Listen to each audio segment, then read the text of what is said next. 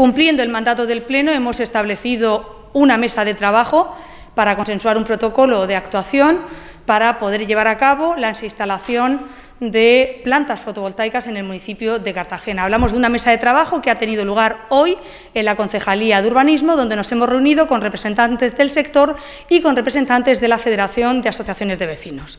Queremos alcanzar un consenso que sea positivo para todos. Hoy hemos presentado un documento inicial que hemos elaborado sobre la base de varios documentos aportados tanto por las empresas como por los representantes vecinales, que ahora tendrán que analizarlo para presentar nuevas eh, propuestas. Es cierto que todos los asistentes eh, que han asistido esta mañana a la reunión se han mostrado de acuerdo en una cuestión fundamental, proteger la zona oeste de nuestro término municipal de Cartagena.